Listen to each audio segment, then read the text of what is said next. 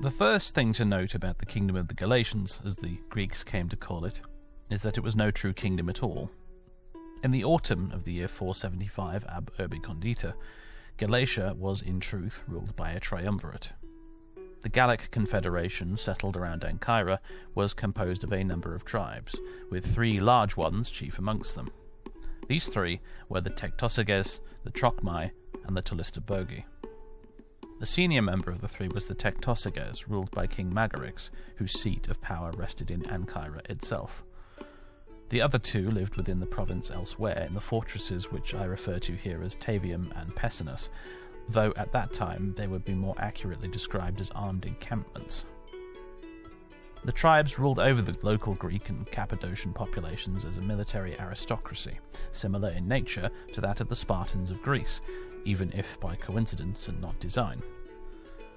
The locals were largely free to continue their lives as they had prior to the Gauls' arrival, though they were made to pay tremendous tributes to each of the respective tribes.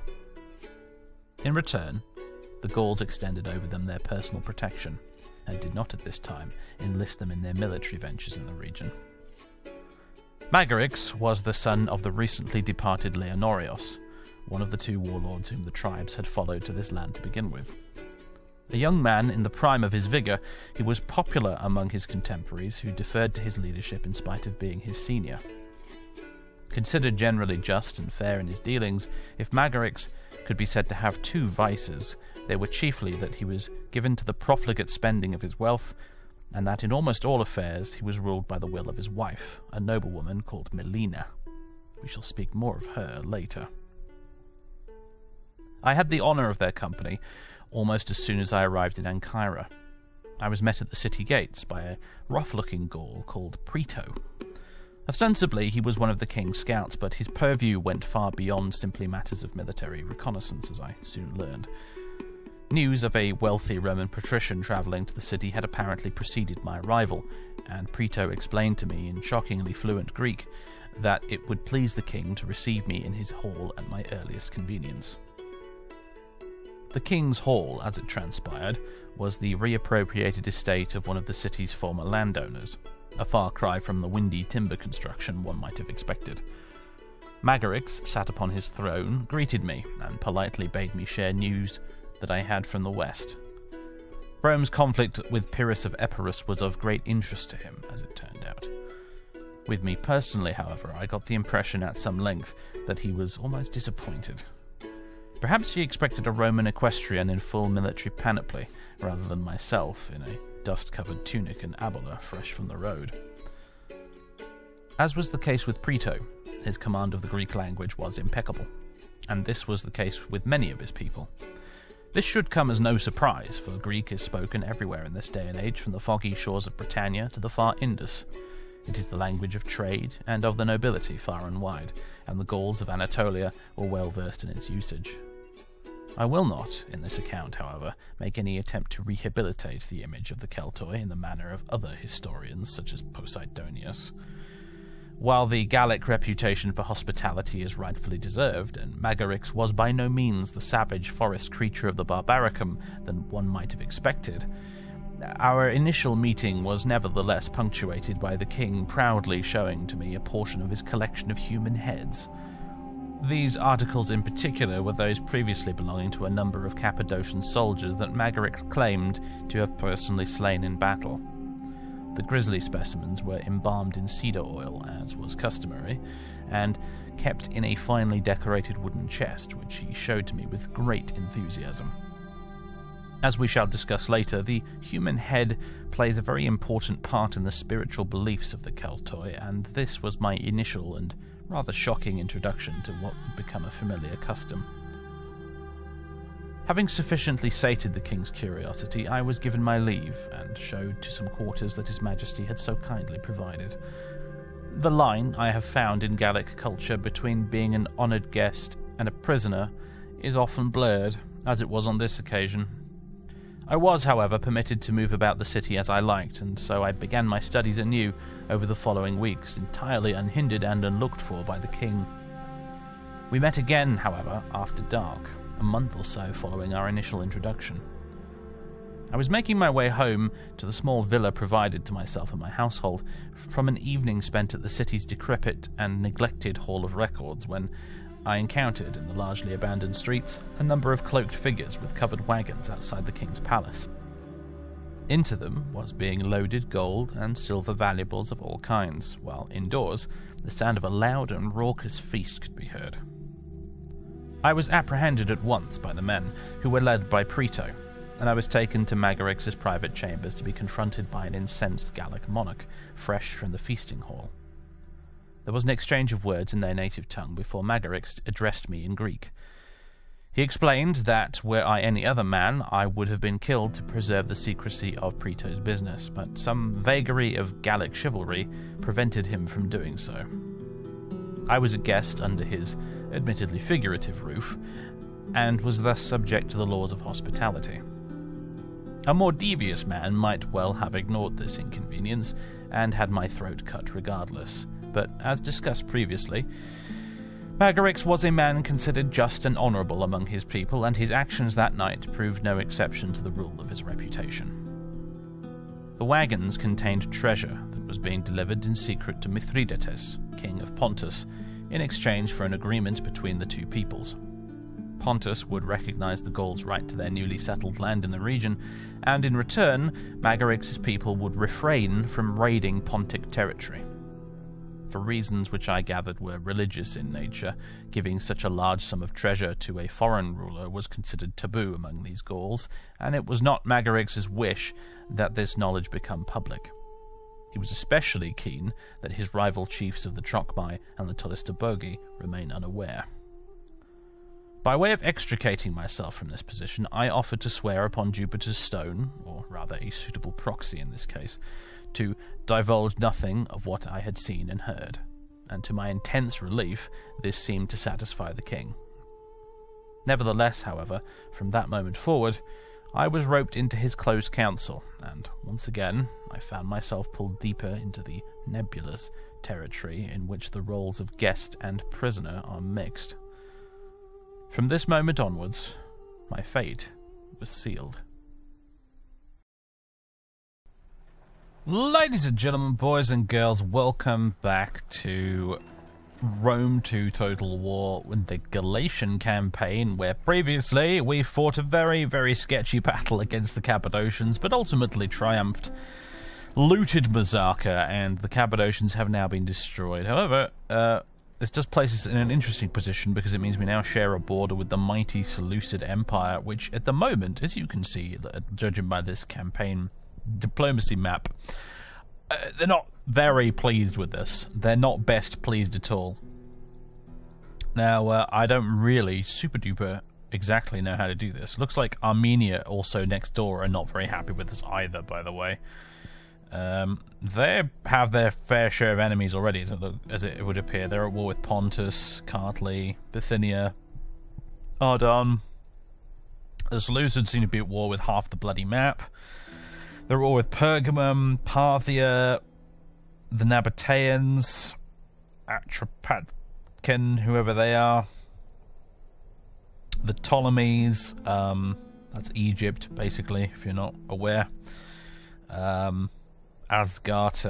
Zaranka, Haralvatis. Um, the Seleucid Empire is massive, as I said. It's, it's kind of huge.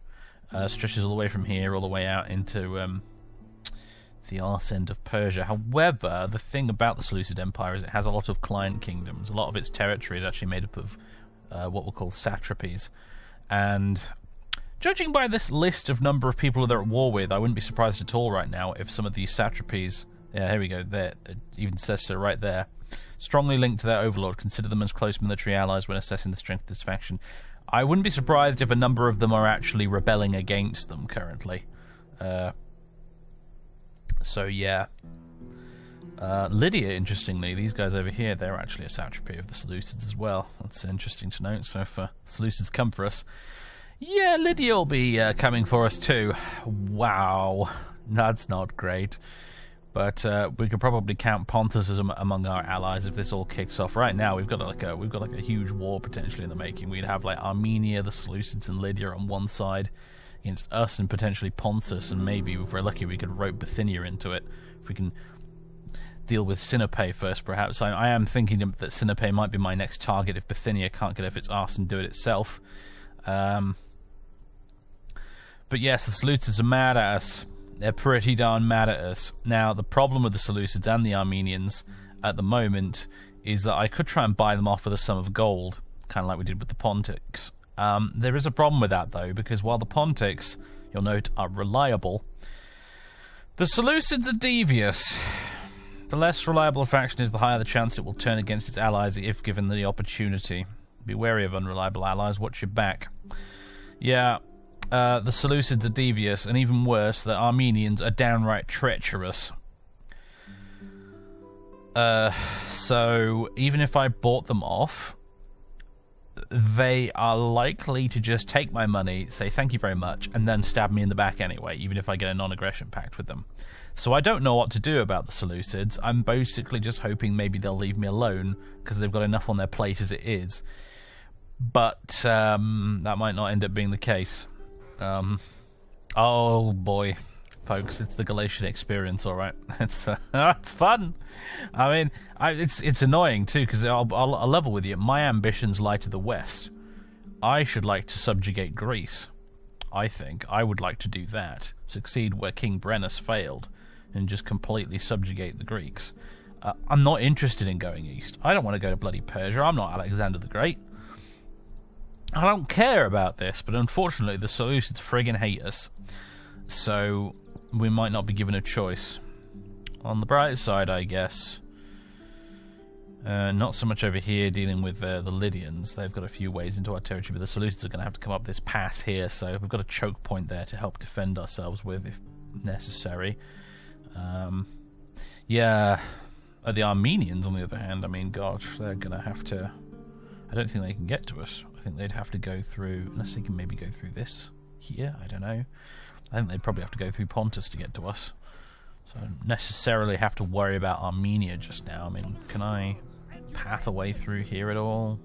No, does not like it. So yeah, the Armenians are not an immediate concern, even though they hate us and are treacherous. Yeah. Um, in the meantime, we do have a big pile of money, but we also have the immediate problem of a negative income. Um, that'll hopefully be fixed a little bit, maybe once we uh, fix up this place. Oh, I need to uh, do this again. Sorry, the, the save game isn't quite synced up with exactly where we left off last time. Um, I need to set that for dismantlement. There we go. This other building here is grain pits. I was thinking about maybe converting that to something else, but maybe we'll be okay. Um, we have minus one food our, as our food surplus at the moment, which is a bit annoying and a bit of a problem. We can temporarily fix that, though, by doing some pol- political shenanigans. Um, if we wanted to convert the grain pits, what would we convert them into? You could get a reservoir that doesn't give you any food, but it does give you growth and sanitation. Field, that gives you four food. Um, sewage ditch, again, no food, lots of sanitation, though and a public order actually, a really huge chunk of public order too. Um, that's interesting. Might be worth considering actually. Well, in future when we expand anyway. Right now we've uh, we need to we need we need food production. So uh, cattle pens is another option that would give us two food. 250 wealth from agriculture. I think grain pits might be the more sensible choice for now, though. So I think we'll keep the grain pits and just repair them. Um, our income is a problem as well. Um, our tax level. I, ideally, I would actually like to lower my taxes, not raise them any any further. Public order is in the toilet. Um, a, a slightly irritating feature. I'm going to be honest about Rome 2 is the way the provinces work and public order works. In previous Total War games, you know, you public order would be assigned to a city. Um, now public order is assigned to an entire region. So, in spite of the fact that Ancyra is full of perfectly happy Gauls, um, they're now all really pissed off because Mazaka is pissed off. Um, and it makes no damn sense. And it is probably my chief biggest complaint with this game. Um, And unfortunately, this system, they went ahead and adopted this for pretty much every Total War game going forward. Um, it's the same in all of them, pretty much, uh, and it drives me bonkers. I, I, really don't like it at all. But never mind. Not here to not here to grouse. There's plenty of other things in this game to like. I, I put up with this because I do like the rest of the game. But uh, yes, as you can see, our public order is now at minus 66 per turn. Uh, most of that is because of con- conquest, which is next turn only. So that'll go away next turn. But that will still leave us at like minus 26 public order per turn. Minus 14 of that is cultural differences, which sucks. Um, yeah, well, there's no easy way around that. Playing as the Galatians, it's going to be a bit like playing as the Western Roman Empire in, in Attila, which is going to have a constant negative culture slash religion debuff to our public order everywhere we go. Um, taxes are obviously making people unhappy. Slaves are making people unhappy. Provincial instability is making people unhappy. That will slowly go away at minus one per turn. And military presence is actually making them quite unhappy as well. That's because uh, that's because Magarix is actually in Mazaka right now. Um, as, as we discussed, I think in the last episode, although I don't know if it made the editing cut in the end. Um, stationing, billeting an army inside a town makes really pisses off the population. Um, so we should have just enough movement points to get out of the town. Um, that might help a little bit. Yes, it's gone down to minus 51 now at least. Um, we might have a rebellion. We might honestly, we might end up having a rebellion. This is this is why um, expansion is quite slow in Divide et Impera. You have to really take it slow. If you overextend, you end up in a whole heap of trouble. Um, we are potentially not going to be expanding for a little while yet. Depends on how things are going up here at Sinope, but potentially for a while now we are going to be um, building up and getting things under control, wrangling the economy back under control, wrangling public order back un- under control, and sorting out our food negative that we've got at the moment. Um, because that's just the way of things. It's the problem with uh, occupying a settlement rather than just sacking it. You do have to deal with all this crap unfortunately. Um, which is presumably why the Gauls did an awful lot of sacking and then leaving in real life, because they didn't want to stick around and deal with all this nonsense. But uh, Magarix has decided that Mazaka is going to be added to the Gallic domain, and therefore, unfortunately, its unruly population needs to be fed and also appeased, well, brought into line more likely rather than appease. But hey, if we do get a rebellion, it's not the end of the world. It doesn't work. If you're a Medieval 2 and Rome 1 veteran, um, rebellions in this don't work like they do in that game. What happens is a rebel stack will form somewhere in the province, and they'll be very small to start with. Um, they'll only be like one or two units. And then over the turns, if you leave them alone, they will continue to gather more and more rebels to them, and the stack will get larger and larger and larger, and eventually they'll attack you. Um, and it means that you can, if you want to stomp them out nice and quickly early, you can just stomp them out when they've only got a few units. Um, sometimes, though, it can be beneficial to let them blob up a little bit before you wipe them out, because as long as the rebellion is gathering, the troublesome elements of the town's population are leaving town, and your public order will actually increase dramatically so long as the rebels are out in the countryside because people are the, the difficult people are all leaving to join the rebellion. Um, means that the, the, people left behind are essentially collaborators. Um, so sometimes it can be a good idea to take advantage of that and let the rebellion build a little bit more before you come in and chop all their heads off. That way you get more rebels in one go right? Um, you gotta think like a Roman, everybody. That's how this works, alright? You gotta be goddamn ruthless like that if you want to succeed. Um, so yeah, we might get a rebellion. I won't. So I'm not. I'm not going to cry too much about trying to get this public order under control. An easier way to get it under control potentially might just be to let them rebel and then murder them all, cut off all their heads, take them back to the palace, um, sacrifice them to the gods. You know all that sort of stuff. So um, there's the preamble out the way. Um, I'm pretty much ready to just hit and turn now and brace myself for whatever's going to happen next. However, there are one or two things we could do. Uh, if we go to the politics tab, um, we could. We could we could try and solve our food problem.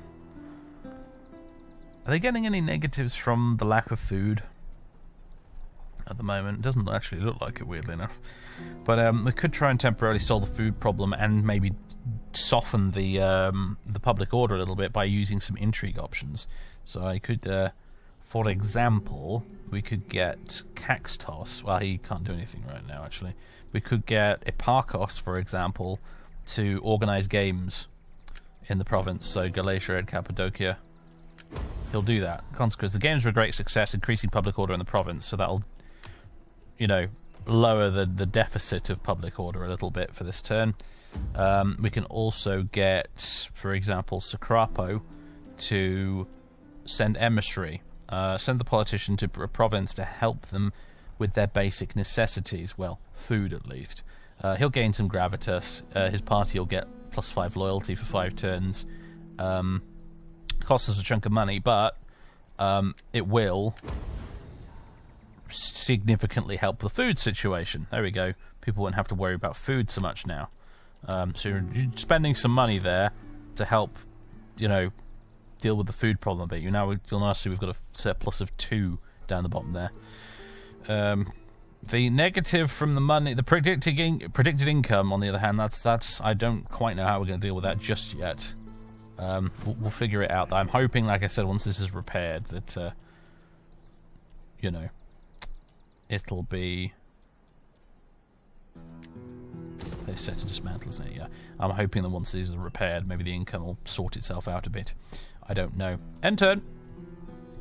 Oh, right, Magarix. For the tribe. He needs to level up. Right, okay, so let's see. The Doom Pigs themselves need to level up as well because armies gain experience in this as well and they gain traditions. So I think. Let's see, uh, half Bear Guard. Plus 2% melee defense, plus 2% morale. Rap- rapine Plunderers. Kill the enemy, take his gold, and enjoy his women. Minus 10% attritional losses when besieging. Uh, Wolves of the North. Melee attack and morale. Let's take Wolves of the North. Let's take Hearth Bear Guard. And we can have a third, which I guess we'll take Formidable Spearmen, because most of our army is Spearmen. Nice. So a few little bonuses there to morale and whatnot. Any morale bonuses I will absolutely take, because my god, we need them. Um, let's see. Uh, now, yeah, Magarix himself can gain some skills now at this point. Let's see. Um, I think Rightful Sovereign would be a good place to start. Plus 2 public order for local province. Plus 1 authority, minus 3 banditry. Allows for the improvement of the intellectual character trait, which is this one here. Um, so we'll take Rightful Sovereign. Potentially one of these as well in the blue category, in addition to that. Uh, political Animal, Master of Statecraft. Oh, minus 20% public order penalties due to local presence of foreign cultures. Local province. That would be helpful, particularly as this faction we're playing as. Unwavering Patriot. That does the opposite. Downside does give us minus one cultural conversion for the local province. Minded bonus to diplomacy with all factions. Cultural affinity faction. Why that would help. That'd be nice. It's a minor bonus, but it's something. Patron of the military. Uh, also, minus 5% unit recruitment cost. Oh, I thought so. No, minus 3% upkeep for all land units. Uh, you know what? I like Master Statecraft. I also like Patron of the Military.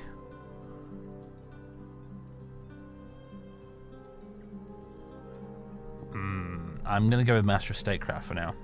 This, I don't. The minus one cultural conversion is like, I'm not so keen on that, but this somehow feels right for the story of this campaign so far. So let's go with that. And that's actually reduced the public order negative quite a bit, which is handy. Alright, well, now we can end turn. I've spent nearly 20 minutes just sat here talking at the campaign map. I hope that's not a problem for people. things are going to get. I mean, we got one. I managed to squeeze a battle into episode one of this campaign. I couldn't begin to tell you when our next one will actually be. I'm afraid, unless I have to slaughter some rebels. Um, as I said, slow-paced gameplay on this, um, and Div- Divide et Impera encourages slow-paced ga- gameplay as well. You really want to build tall in DEI uh, and expand slowly if you want to succeed. So. Uh, can't promise this is going to be a super action-packed episode. Give careful thought to this offer. My people expect acceptance, and if Athena helps you, they may have it. Okay, so Bithynia wants military access. They're demanding 480 gold from me for the privilege. Um, I guess I'm inclined to do it just just to boost our, you know, relations. 480 is pocket change to me right now. Where you have currently a trade agreement and a non-aggression pact with them, why not add military access to it? Sure.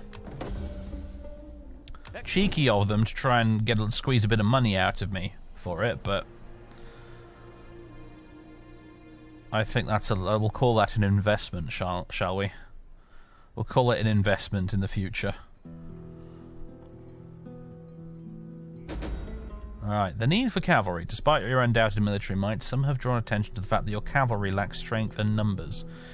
Rally horsemen. Um, the promise of glory, lands, and titles will help draw many horsemen to your cause, which will give us cavalry recruitment for four turns. A focus on cavalry warfare is reducing the cost of recruiting mounted units minus 25%. So I a quarter discount on recruiting cavalry, or the alternative is plus two experience ranks for new cavalry units. I'm not recruiting any more damn cavalry at the moment. We, we're at the very limit of our budget as it is. So whatever, cavalry training, I guess. Magna Graecia secured. Uh, now that Rome is no longer at war in southern Italy, the uneasy peace between Carthage and Rome has become frayed. Should Rome seek to assert her influence into Sicily, Carthage will take that as a sign of war. So it sounds like the Romans have secured southern Italy. They've kicked out what remained of uh, Pyrrhus of Ep- Epirus's forces in around Tarentum. And now, yeah, they're probably going to be arming up for a tussle with Carthage over Sicily. The First Punic War on the horizon. Celtic field systems. Right, our tech up is done. And Hipparchus has returned from his little mission, so Socrapo. Lovely. So yeah, if we hop on over here, you can't see very much really, can you, through all the fog? But uh, yeah, the Romans have secured southern Italy and they'll be wanting to go into Sicily pretty soon, and then they'll be fighting with Carthage. Interesting to note, actually, Rome and Carthage, um, at this just prior to this period, they um, they are actually fairly close-ish allies. They had a sort of unofficial alliance against Pyrrhus their common enemy because Pyrrhus had ambitions in Sicily and he actually kicked the ass of the Carthaginians quite a bit um, while he was there. Um, and Epirus, Pyrrhus of Epirus, Epirus being over here, um, he decided to make an enemy of the Romans and the Carthaginians, and the Romans and the Carthaginians kind of didn't totally team up against Epirus, but they had a sort of agreement that they would come to each other's aid in order to help defeat Pyrrhus if it became necessary. Like the Carthaginians had basically made their navy available to the Romans if they had to, and so on and so forth. And obviously, that that that little piece, that little alliance there, didn't last very long in the long run, did it? Um, as we all know. Ready for orders. Um, Preto. I'm thinking I'm having might have you leave the army and do something more useful.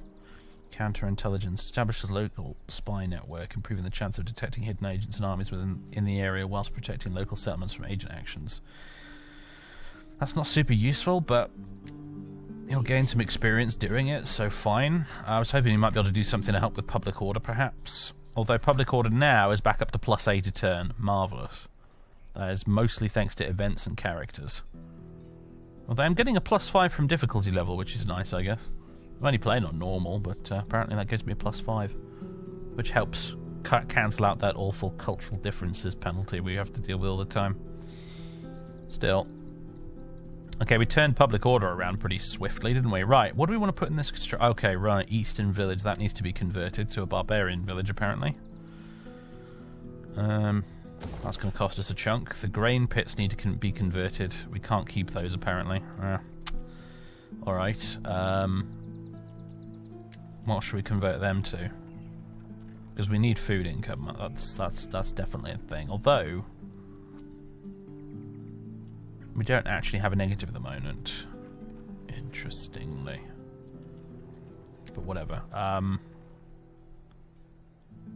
maybe we had the negative because the army was in town earlier. I don't know. Little subtleties like that escape me at times, you know. Or should we convert this into? I think we should probably ought to convert this into fields. Maybe it's tempting to go with uh, with the sewage ditch for the public order bonus, but I feel like fields is the best life choice.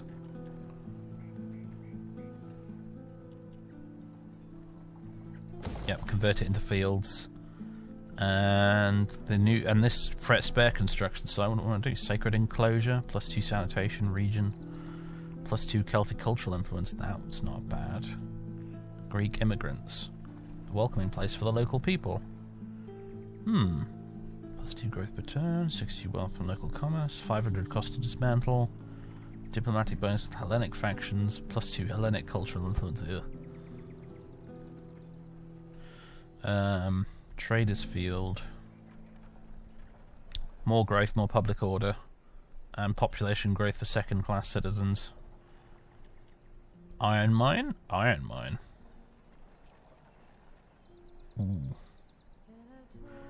That's a local resource, the iron. That's probably important. I feel like that might be what we should go with. Yeah, let's, yeah, let's go with the iron mine. 10 iron a turn. Or a turn, I'm not sure. 150 wealth for mining. Yeah, let's go with the iron mine. Iron's very important. Iron's good to have.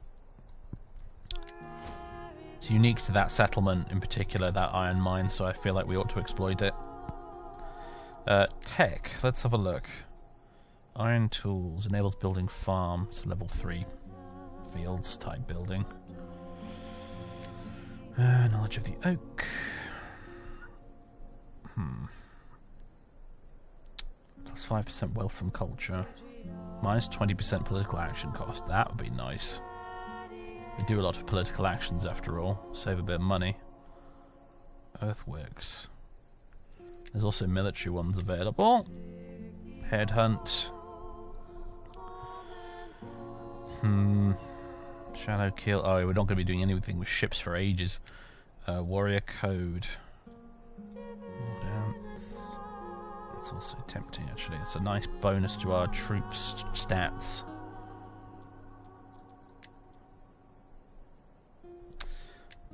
I think I'm going to get knowledge of the oak to reduce our political action costs. A 20% discount on those is nice, so we'll do that.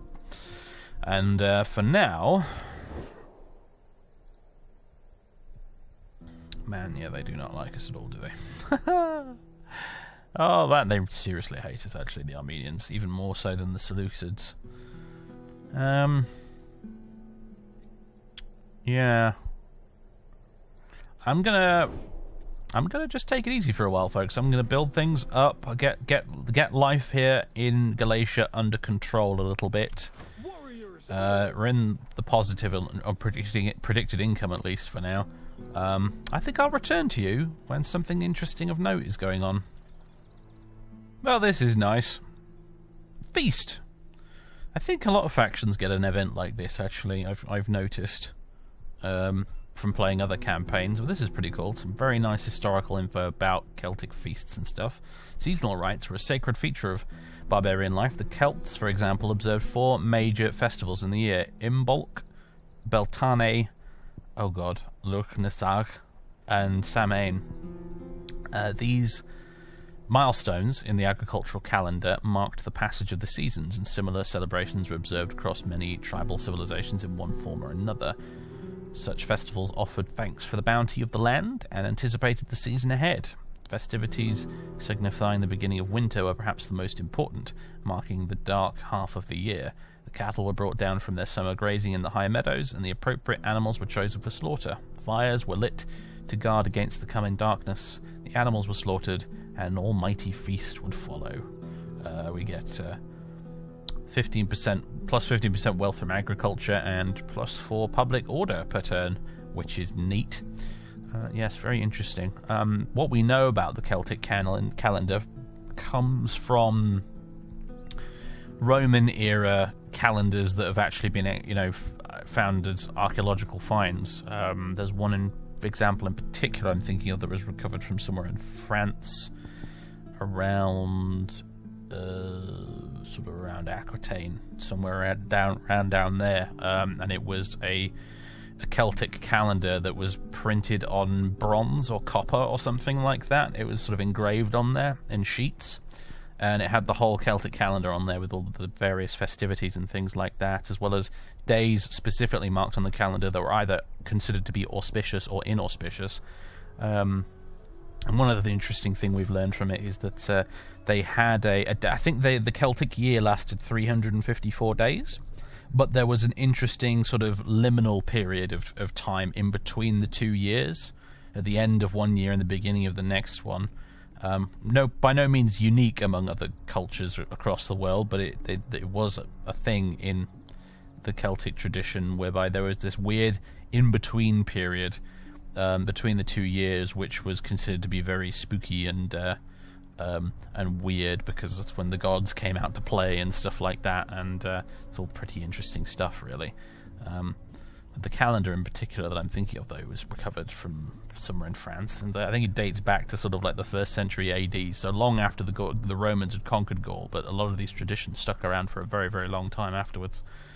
Um, they weren't completely eradicated. Anyway, Nice historical info. Just thought I'd interrupt the video to bring you that. Nothing else of interest has really happened. Apparently, the Absinthioi have, have arisen, presumably as a result of a rebellion somewhere. Uh, aside from that, nothing particularly interesting going on. It's uh, December, which is considered autumn, interestingly enough. Um, and nothing else of interest appears to really be happening. I think I was just going to. I recall, I was just going to set uh, Magarix to patrol. Faster, and I think we're going to do the same with uh, with you, sir. Just set you on patrol stance for now. Which I think maybe helps boost income a little bit, but uh, also helps boost public order quite significantly. We're now on plus 21 a turn, so we've really turned that around. That's good to see. Hopefully we cheer up the local population. At the moment, they are indifferent. Uh, we'd like them to be a little bit more than indifferent, though. We'd like them to be quite happy because it'll boost growth and tax income and things like that, I think. Anyway, I'll be back. We've been contacted by the Kingdom of Pergamon, everybody. They would like 120 gold from us in exchange for a non aggression pact. In the long term, I would like to crush Pergamon. I would like to crush them into dust and take all of their valuables and lands for ourselves because historically Pergamon kicked the crap out of the Galatians, and I would like to reverse this historical injustice over the course of this campaign in an ideal world. In the short term, however, I don't think we can really afford to be picky. Um, because we have the Seleucids, Armenia, and Lydia to contend with, and none of them like us very much.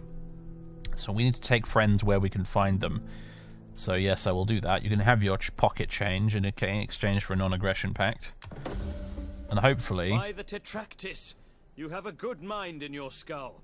your decision here is most excellent. Good, thank you. Yeah, we'll we'll we'll we'll we'll we'll court your favour for now, Pergamon.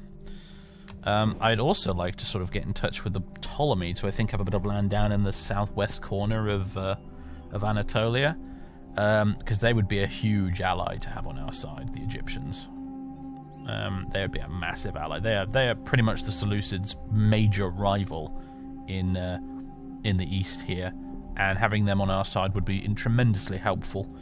Really, uh, not necessarily an alliance with them, because don't want to get dragged into anything, but having them friendly towards us would be very very good. Um, uh, want, the game wanted me to recruit a champion, and I was just like, no, I don't need a champion, and also I'd have to pay him a salary, so I'm not going to do it right now. Um, Preto's increased in rank, that's nice. Uh, let's see, what do I want to do with you, Preto? Sabotage, murder. assassinate never seems to really work. I'm not. I'm not huge keen on going into that. Collaboration, on the other hand. Let's get that. Let's get disruption, maybe. Spy. I upgrades his cunning. Let's take that. And reconnaissance. Furtiveness. Let's say reconnaissance. That would help when he's attached to the army. Alright, cool. Preto's leveled up. Very nice. Um, anyway, yeah, I'd like to go and. In fact, oh, they there they go. They control Cedo down there. So, Preto, go and say hello to the Ptolemies for me, because I don't know if we can actually talk to them right now. Oh, I think we can. I think we can. They're, they're a bit a little neutral with us right now, but Your embassy is most welcome. I listen most carefully as the servant of Pharaoh, Lord of the Two Houses. very good. Hello, nice to meet you, Ptolemy. Um, I'd like to be your friend. I can't trade with you at the moment because we're just yeah landlocked. It's a pain. I'd really like access to the sea. One more reason for us to swoop in and maybe take out Sinope, get access to the Black Sea.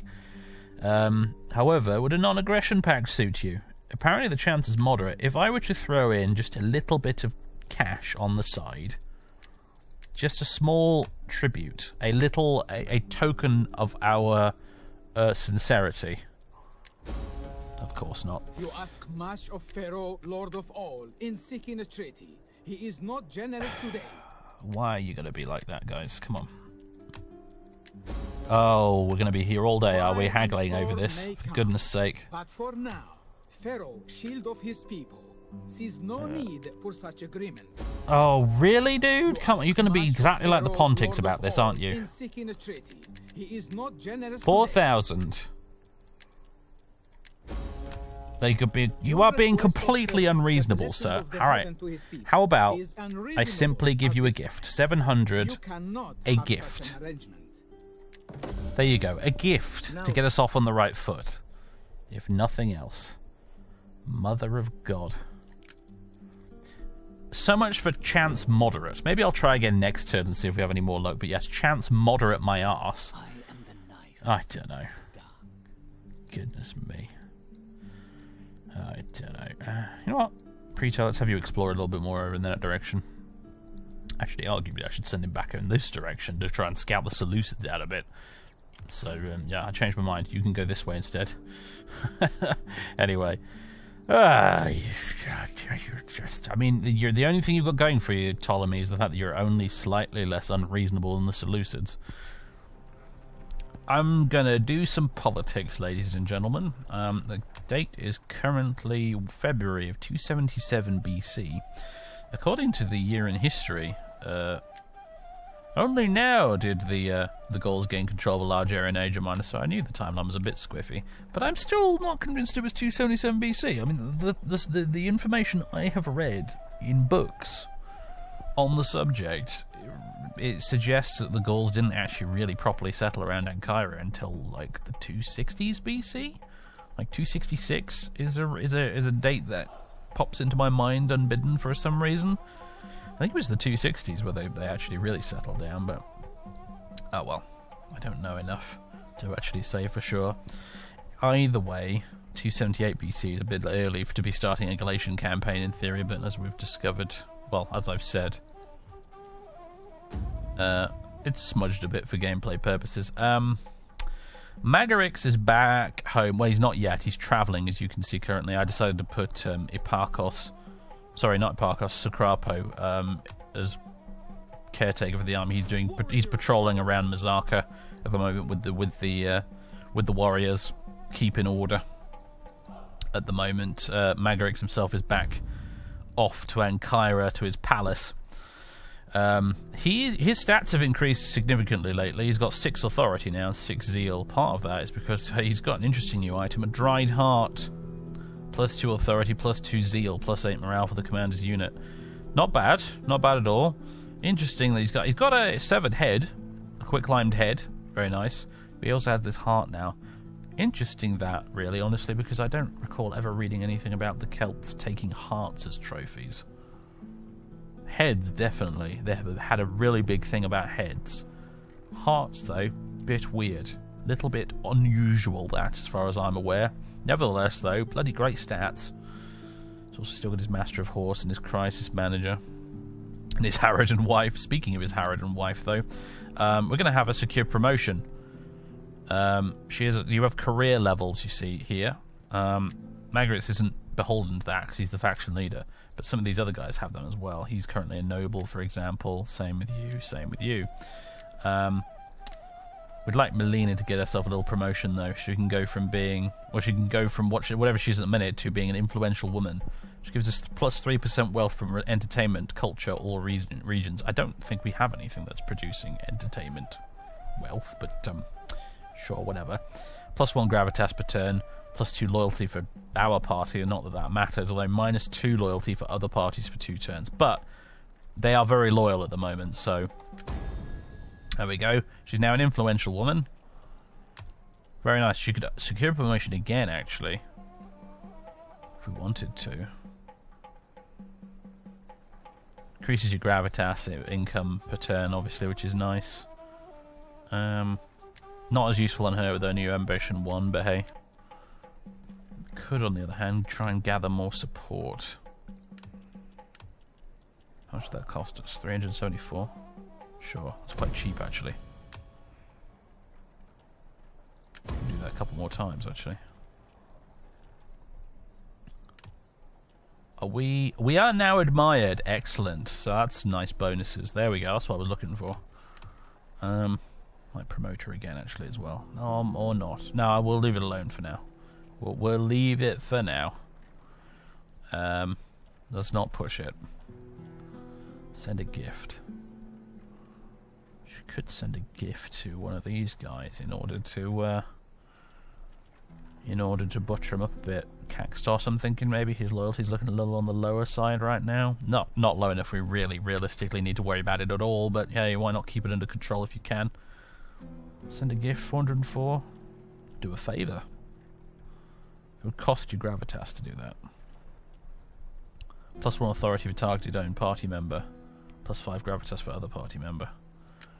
She could give a gift to one of these guys, I guess. Oh, sorry, do a favour for Send a gift. Send a gift to Caxtos for his service lately. Sure. There we go. They were pleased by our contribution. She's organised a gift on behalf of the king for Caxtos in order to keep him a little happier. Nice.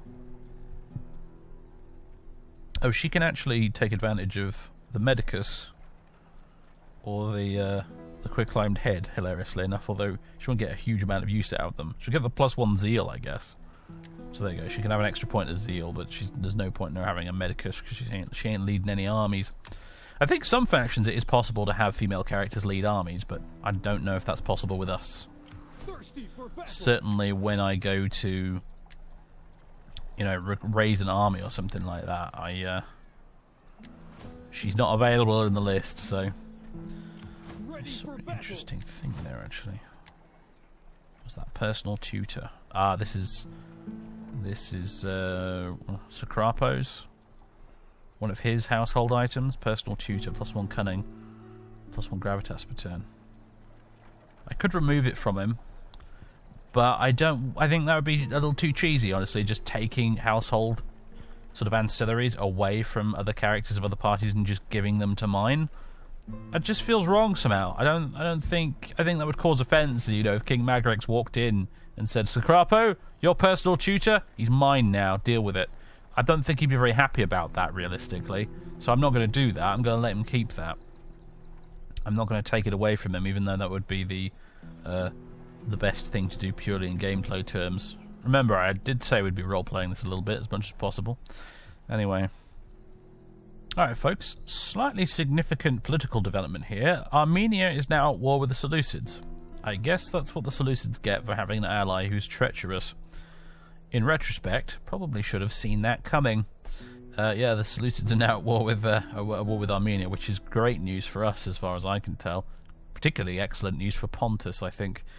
Um, the Seleucids are at war with an increasingly large number of people these days. Um, oh dear. Oh dear, oh dear. I still haven't made any progress trying to butter up the Ptolemies, by the way.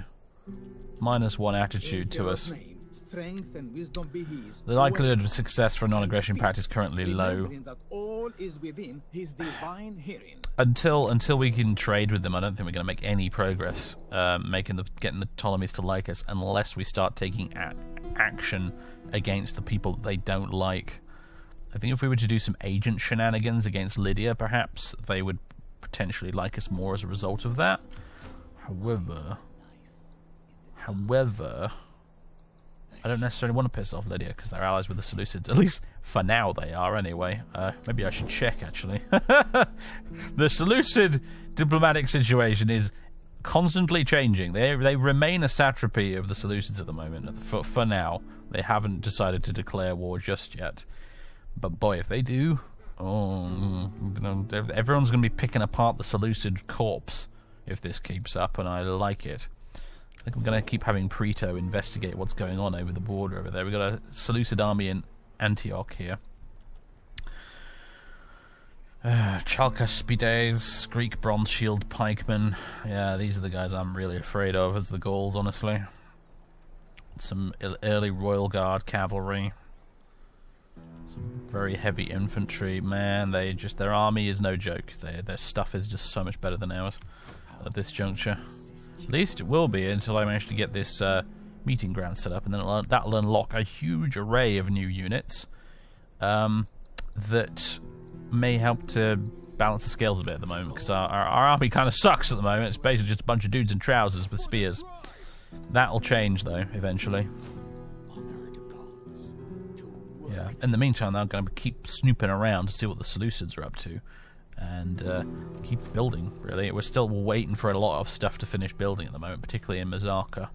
Um, on the bright side, population is happy. Um, in other news, uh, we've finished our research. I need to select some new research and. Uh, do, do, do, do, do. Tensions in Sicily. Carthage is getting the upper hand in Sicily on its way to complete control of the, of the island. Carthage has angered Roman interests in the area. So yeah, first Punic War, very much on the way, it looks like. Uh, but that's all for now, folks. It's the spring of, uh, well, April specifically, of the spring of 277 BC, ladies and gentlemen, and uh, the local chieftain detests you. He curses your ambitions, your military might, and mocks your manhood. He makes it known to all that he should stand in your place. We can try and bribe him to our side. We can try to discredit him. We can assassinate him. We can do nothing. Let the fool blather.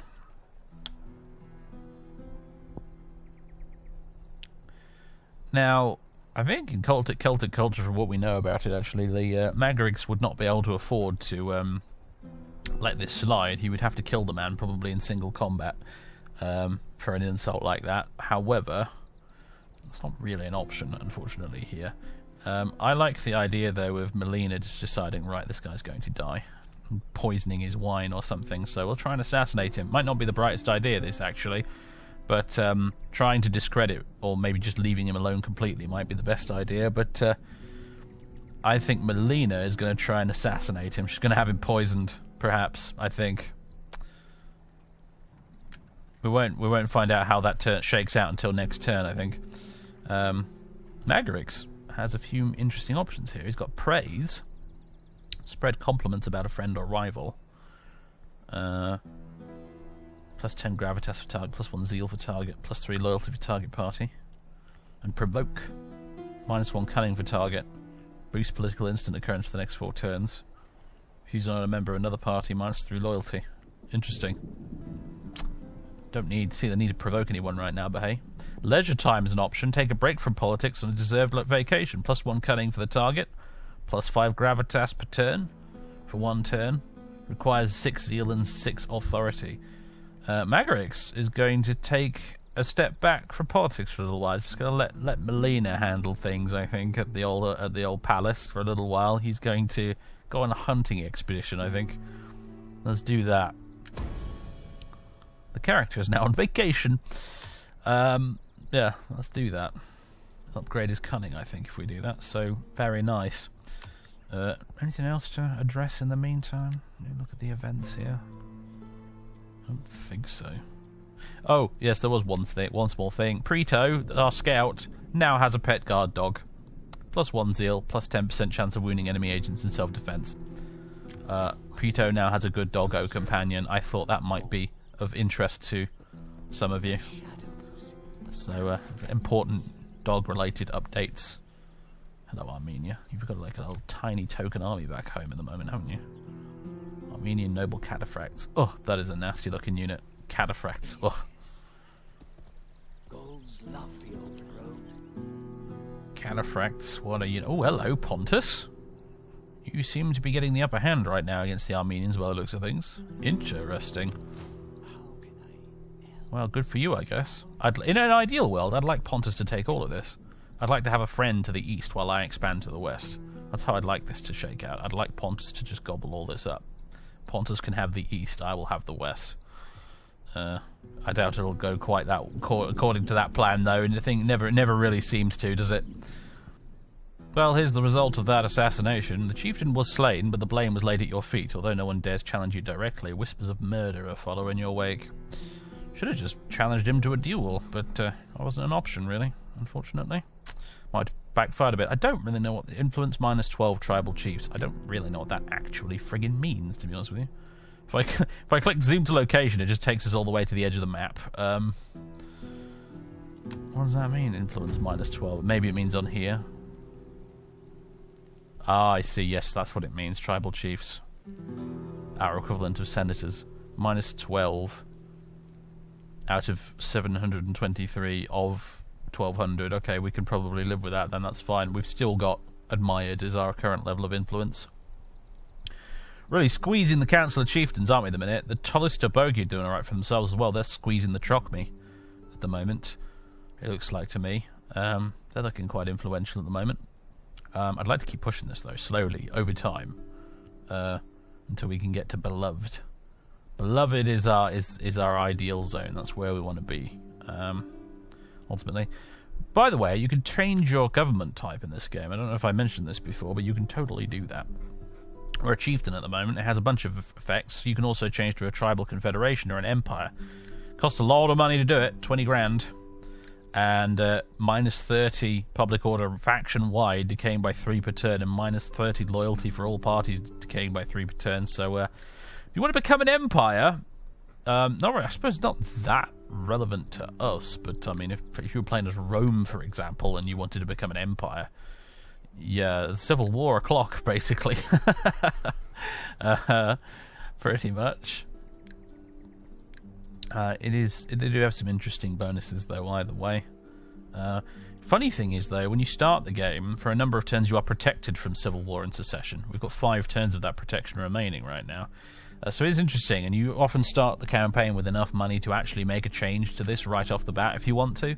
I did start a Rome campaign once in this, just just out of pure curiosity, and discovered that I could immediately change to kingdom in turn one, and had enough money to do that. And it didn't matter that I lost a load of um, loyalty because you're protected from civil war. So weirdly, you can start a Rome campaign and just decide Rome's a kingdom now, and have no negative, real, real negative consequences for that. It's a little strange, but uh, never mind. Uh, regardless, that's a thing.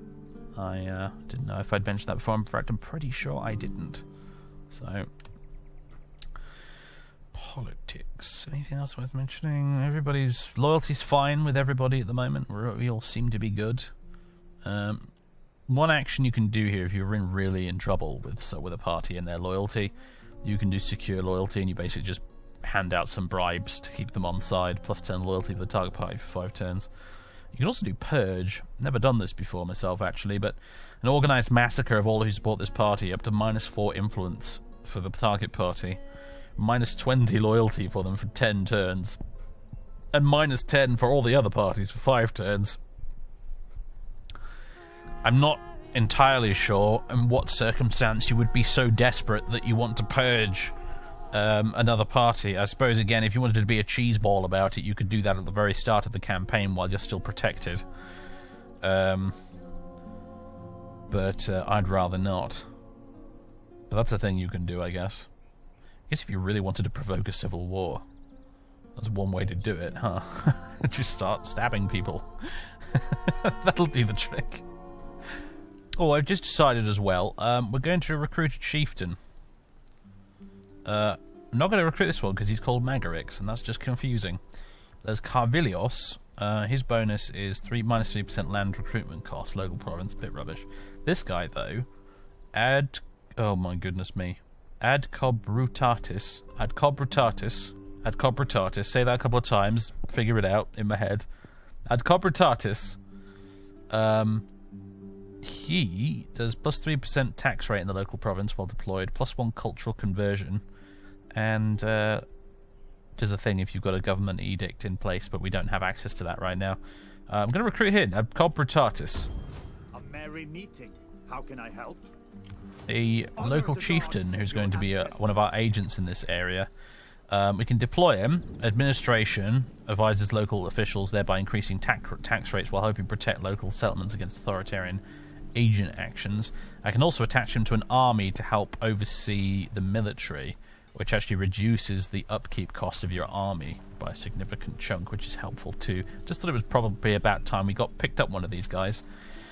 Could also get a war maiden at some point, a champion, in other words, but I don't really need one right now, and I'd rather not pay for it, so yeah. Peace to you. Um, this guy, though, Adcob Brutatis, he's joined us. He's an elder. Long years bring the wisdom to listen when others speak. He's circumspect, cautious, disciplined, and abstemious. Interesting. And unjust. Ooh. Minus three public order per turn, local province. That's unhelpful. That's very unhelpful. Never mind. We're at plus two public order at the moment in this place. Cultural differences are being a problem. Culture status at the moment is we're 25, just over a quarter Celtic at the moment. Hellenic and Persian are both going down by, by quite a chunk. So um, we're on our way to slowly making Celts of these people, but it is taking a long time. Hearthkeeper. This woman has proven herself quite capable of organising labour in her family's large household.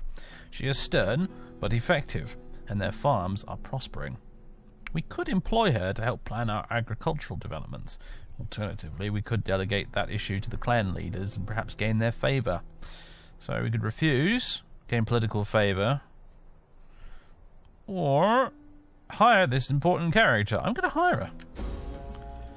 Rolling protection expiring. Yes, uh, three more turns and we won't have protection from secession or civil war. Not that I think we're really worried about that for the meantime. We seem to be keeping everybody relatively happy. Sinope have been destroyed. I think it looks like. Uh, yes, Bithynia finally got the job done. They've taken out Sinope. Saved me the job, I suppose. Mamlakat Himyar have been destroyed as well. That must be a, a very eastern faction of some description. Um, and Epiros have been completely destroyed.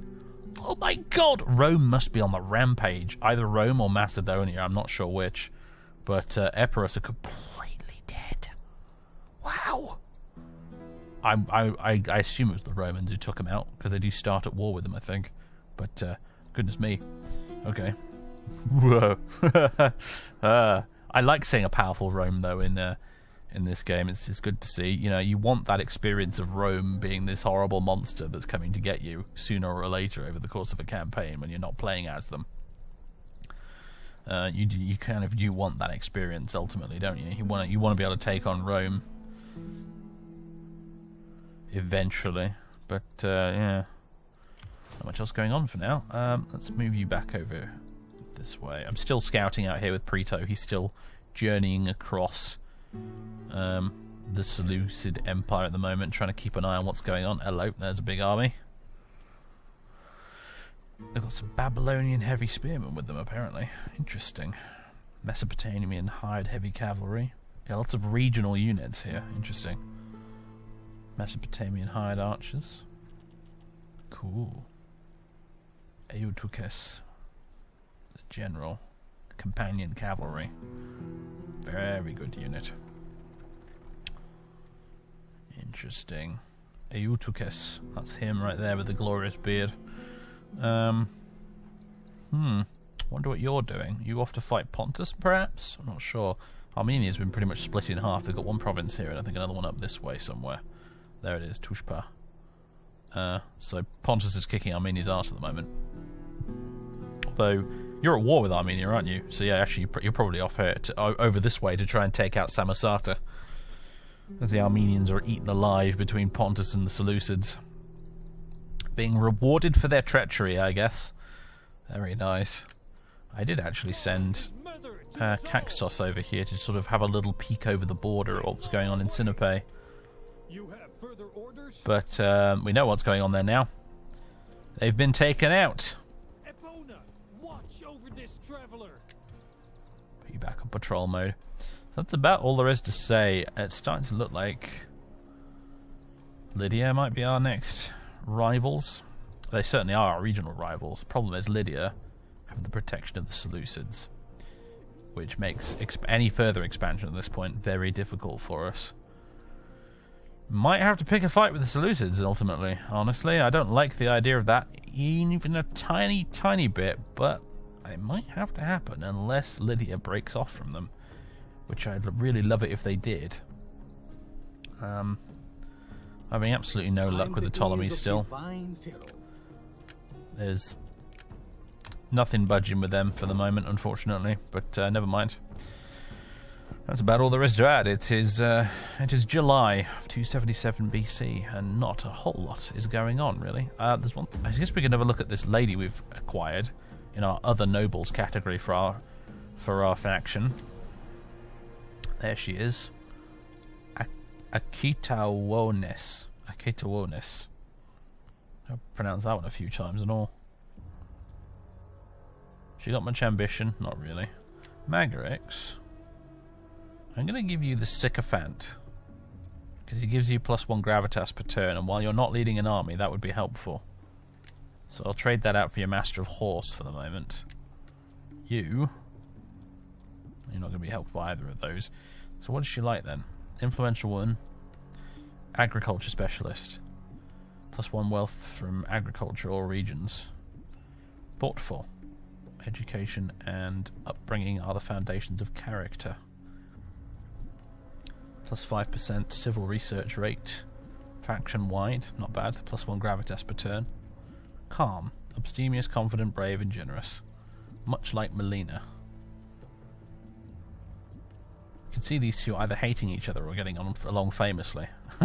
Difficult to say which.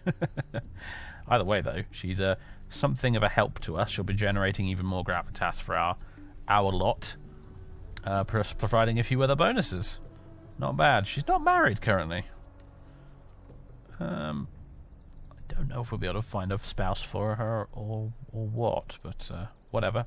She's with us now. She can do political actions and things. She generates gravitas for us. It's all good. It's all good. Magarix is now sitting on 116. And his wife is still has still has more gravitas than him, but uh, he is catching up at least. uh, if we have a look at the politics summary, ah, we've actually gone down back down again to respected rather than admired. Well, that won't do, will it? That won't do at all. Melina, you know what to do. There we go. Keep these bastards in line. I might even do it again, actually. There we go. That'll show them. That's put us a bit of a buffer zone there, hasn't it? Um, very good. I can get promoted again as well, actually. Let's do it. Let's get greedy. Nice. She is now an opportunistic woman. Very good. And you guys probably didn't like that, but uh, you're not openly mad at me yet, so that's okay. That'll do. All right. The turns roll on, everybody. Nothing much doing at the moment. Still building things up. I'm in the process of halfway through building an ironworks at the moment in Mazaka. Gives us 10 iron, 300 wealth for manufacturing, plus one banditry, although we can counteract that very easily. Um, and a bit of 0.3% second class citizen and 0.1% foreigner population um, as well. So a bit of population growth into the bargain. Um, we've got our meeting ground. Ready for orders. If I were to take you out of that and go to recruit units, let's see what we've got available to us now. We've got Tolistobogioi, Ambaktoi, Galatian Chosen Swordsman. Very nice. Melee attack 16, defense 13, charge bonus 22, weapon damage is very high, good armor as well. I guess I Agosages Bogiokingetoi, Galatian Axeman. Um, also quite nice. Lots of AP damage with Axeman, right? Isn't that, isn't that a thing? Yes. Good unit to use against en- enemy heavily armored units, which we might run into quite a lot of, actually, if we start fighting Greeks. Tektosiges Uerag- Ueragris. Um, Galatian swordsman. Basically the equivalent of the spearmen, I guess, but they've got swords. Still got the Gaisates. Cappadocioi haploi. These are Cappadocian levies. It's an area of recruitment unit. You can tell it's got a little banner icon on the bottom left there. Um, another brilliant, amazing feature of Div- Divide et Impera is area the area of recruitment system, which allows you to recruit auxiliary units um, all over the map from the regions you conquer. Um, it's great.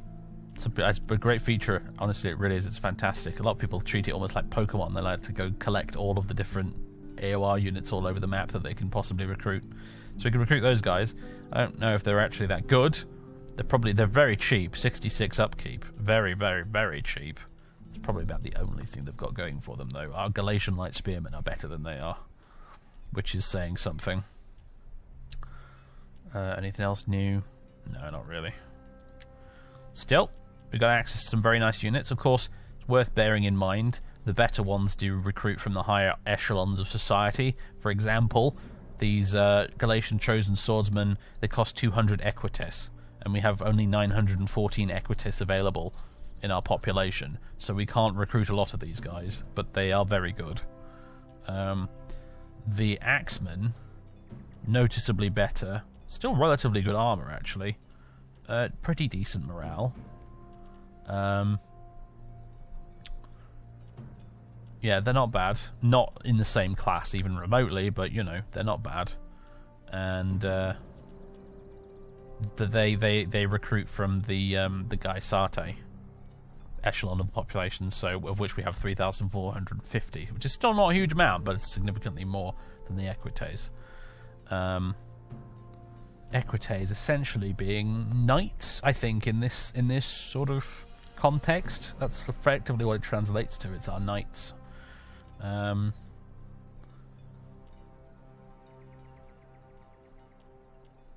yeah, these guys recruit from from from the lower echelons, so that we can get loads of them if we want to.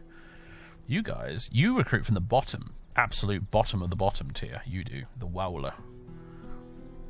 If we look on here, the Wowler, yeah, they're, they're the absolute bottom. They're the foreigner population essentially, which is growing at the moment. You may have noticed, but pretty much all of them are decreasing. We've got population going down across the board at the moment. Possibly a little bit concerning. Why is that then? Let's have a look at the breakdown. Why is every why is my population shrinking? Um, overcrowding, base slash base growth. That's obviously having an effect. Region majority culture. Ah, uh-huh. yes, that's probably not helping either. It's a good old majority culture problem biting me in the ass again. Oh, and look, we're at minus two public order right now. Probably because you stopped patrolling, am I right? For battle. When you're Yeah, there we go. That's got it back up to plus two. Goddamn culture penalties. It is increasing, though. We're at 28% Celtic now, which is nice. It's taken a bloody while, though.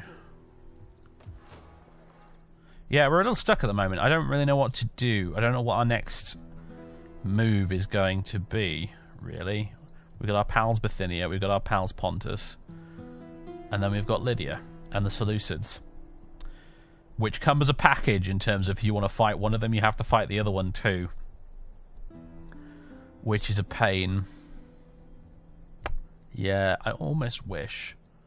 I almost wish the Bithynians hadn't taken Sinope there and could have had it for myself.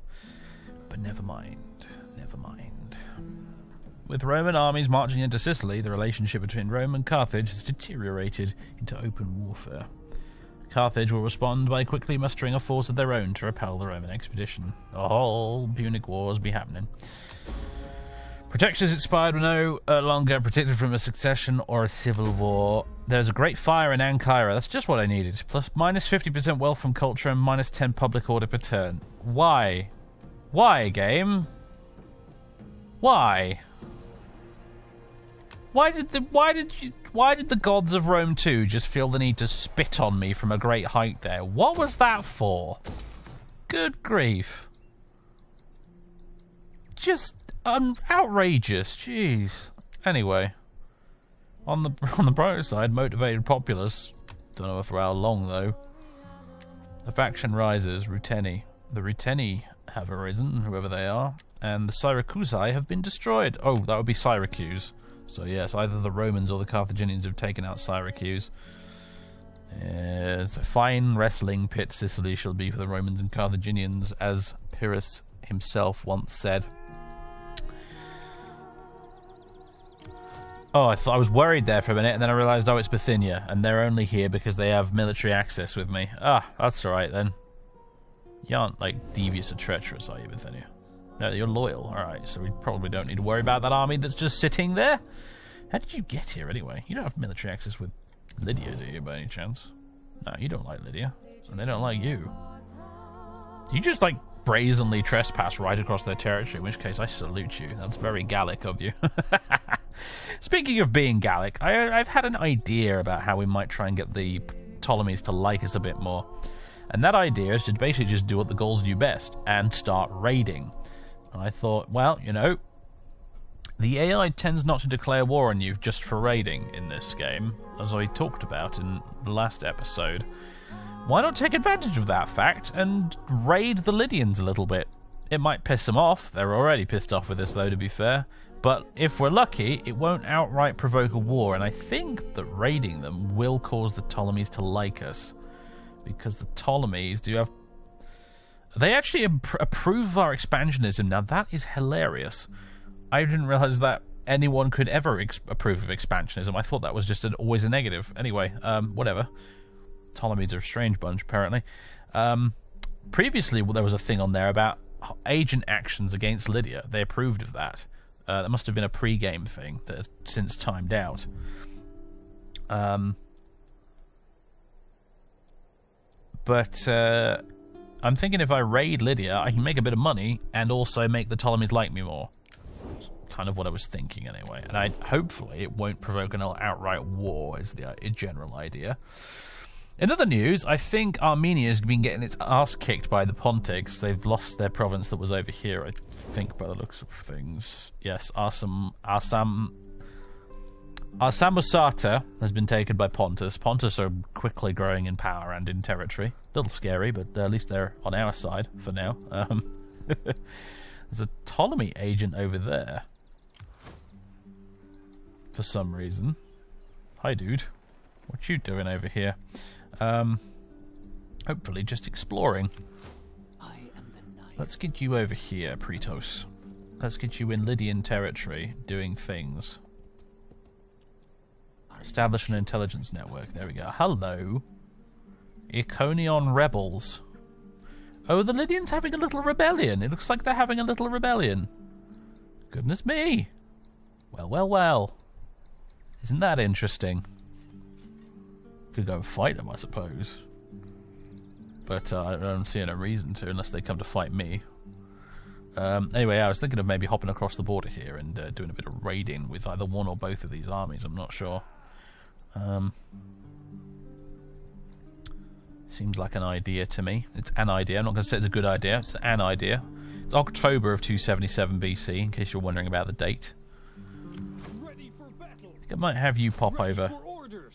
Sacrapo.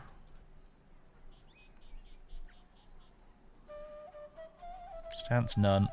Pop across the border. Trespassing. Yep, they won't like that. And also, they're really not going to like this. Yeah, they got minus 21 to public order now there. We're going to cause some chaos. Ah, this surely will not have any repercussions I will come to regret. Surely. These are getting some more income. Our income's not great at the minute, but that is actually mostly because I lowered taxes. Oh, public order. Why? Why? Devastation minus two. Why? Stupid, stupid fire. Stupid bloody fire. Why? I don't know. Anyway. Keeping on top top of this public order is, is, is proving a pain in the bum at the moment. Still got minus 12 from cultural differences at the moment. Yeah. Celtic, Celtic culture's up 32% at the moment, but still, very annoying. I'm wondering if Caxtos might have the, the king take over this. Maybe. No, actually, I won't. That's, that's alright for now. We can deal with a little bit of negative public order for the minute. We're at plus 51, so uh, we'll wear it for now. I wonder what you can do in, in an enemy province. Military administration. He that's if he joins an army. Steal income. Corrupt local officials. Local officials, forcing them to give you gold from the taxes in their settlement. So that's what we can do in an enemy province. Administration advises local officials, thereby increasing tax rates. That's what he's doing at the moment. And culture gradually spreads your culture throughout the local province. Okay. Ineffective where your culture is already dominant. Right. Gotcha. Cool. Um, he's just going to keep doing what he's doing. I think for now. Peace to you. Okay. Well, we're gonna we're we're go, we've going on we've gone on a raid. Of Gaul. Has led the warriors across the border on a raid into Lydia. We shall see how that shakes out, shall we? Let me look on politics at the moment? We're doing all right. We're doing all right. We've got a fair chunk of this bit of the chart right now. We're still admired. We're looking good. Loyalty is relatively good. The the Trocmi are the ones that are probably the least loyal. Yeah, they are the least loyal at the minute, but they're still plus 14, which is fine. As I said, you don't really have to start worrying until you get to minus 11 on loyalty. That's when things get awkward. Because that's when your risk of a civil war or secession starts to actually go up from 0% to like 1%. Um, which doesn't sound that much, but that's like a 1 in 100 turn every time. 1 in, 1 in 100 turn? Sorry. 1 in 100 chance every time you hit the end turn button that a civil war break out. Um, so 1 in 100 is not much, but at the same time, I've rolled enough ones in my life on dice to know that it can happen. So, uh, anyway, let's see how the rating shakes out. Ladies and gentlemen, it is January 276 BC, and war has been declared between Bithynia and Lydia. Bithynia has thrown their hat in the ring um, in the all-you-can-eat Seleucid buffet, apparently, and uh, they are now going to war with Lydia, which is interesting. This makes me inclined to join in, even though they'll probably put us at war with the Seleucids. Um, the good news is, my plan to raid Lydia and therefore boost our reputation with the Ptolemies is working out magnificently. Um, their their their attitude is slowly but surely improving towards us, which is really good. Your embassy is most welcome. Moderate chance of a non-aggression pact now. Carefully. Still rejecting it, of course, Your words are worthy. which has now gone down to low. I think just for the asking, they they, they just sort of eh, whatever. Either way, it would be nice to have them on the side, but they're being very stubborn about it. Regardless, though, uh, I think Lydia is, is amazingly weak at the moment. They've got one tatty army over here who's currently they're they're recruiting. Um, Bithynia, they moved an army through my territory up this way. I think over towards Sinope. Um, they are technically at war with Armenia. I thought maybe they were going over there to try and fight the Armenians, but I'm not sure where that went. Either way, I'm kind of feeling like, I mean, Iconion is is really poorly defended. Citizen militia, armed natives. Not very good. It would be very easy for us to swoop in and just grab Iconion. If war broke out, we could just do that straight away and then quickly pivot up here and potentially take out Pessinus as well very, very, very fast. Um, the Ptolemies would like us for going to war with them. The Seleucids obviously would be very annoyed about it. In fact, they'd probably downright declare war on us instantly. That's the scary part, essentially. That is the slightly terrifying part, is what will happen if the Seleucids declare war on us. What I think I need to do is recruit some more units for this army. We've got a bit of income now that's being supplemented by the raiding. Um, we need to recruit some more units for this army, some good ones. Bring them down here to just sit next to Mazaka, and with that, that them combined with the garrison of Mazaka, maybe means we'll be able to uh, make the Seleucids think twice about advancing up through this pass into our territory, at least for them in the meantime. While we focus on taking out Iconion and then maybe even Pessinus as well if the Bithynians don't get to it first. That's kind of my thinking. I want to get some more land. I want some more land. Things are relatively stable and under control at home. We've got positive food, we've got positive income, we've got positive public order. Things are okay. We've recovered from that damn fire. Um, so yeah, I think now is possibly the time. Lydia is unlikely to be any weaker than this going forwards right now. They are in an absolute shambles. I uh, don't know what happened to that rebel army that was over here, by the way. That seems to have just gone somewhere. Oh, there's a there's a Lydian army there. They've been those guys have been sitting around raiding the Ptolemies' territory over here. They have. Um, funny thing is about Lydia is I don't think they can get troops between their two provinces here without going through Ptolemy land or ours, which obviously is going to make them defending Iconium for them very very difficult. So uh, yeah, they got a little eight unit army there this little army here. They're not doing great, Lydia, and I think it's probably time we started considering chopping them up, really. I think that's probably what we're going to want to be doing. However, that is going to be next time, I think, because I reckon that'll do for an episode.